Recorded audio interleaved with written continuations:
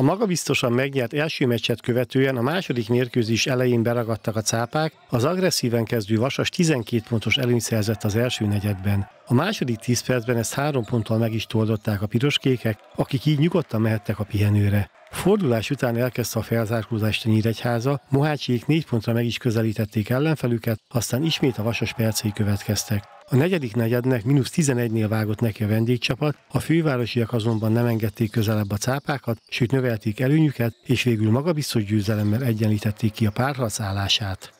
Természetesen azért jól fölkészült belőlünk a Vasas, és az ő érdemük ez a siker, de ehhez kellett azért a mi oldalunk is. Nagyon fásultan, enerváltan, gyengén kezdtük el a mérkőzést, és gyakorlatilag két-három perc alatt egy 10 pontos előnyt tudott építeni a Vasas, és túlságosan agresszívak voltak, és túlságosan keményen álltak oda minden ütközéshez.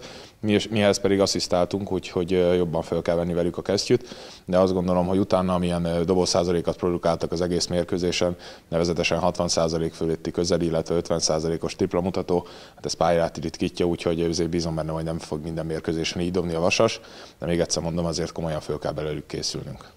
A harmadik összecsapás előtt adott a recept, a nyíregyháziaknak az első meccsen mutatott játékot kell megismételniük.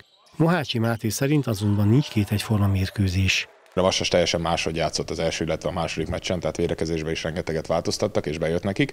Úgyhogy azért nekünk is kell taktikailag ehhez hasonulnunk, illetve kicsit előrelépnünk. De én nem is a taktikában látom a legnagyobb gondot, tényleg abban, amit mondtam, hogy sokkal agresszívabban és keményebben kell játszanunk, mint azt tettük az első mérkőzésen.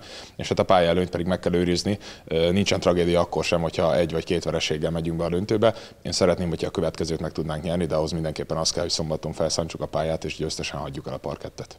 A szombaton 18 órakor kezdődő mérkőzést már nézők is megtekinthetik. A belépés ingyenes, a látogatóknak kötelező a maszk viselése, és be kell tartaniuk a járványhelyzetben érvényes előírásokat. A Költség Televízió nézői vasárnap 20 óra 30-tól láthatják a találkozót.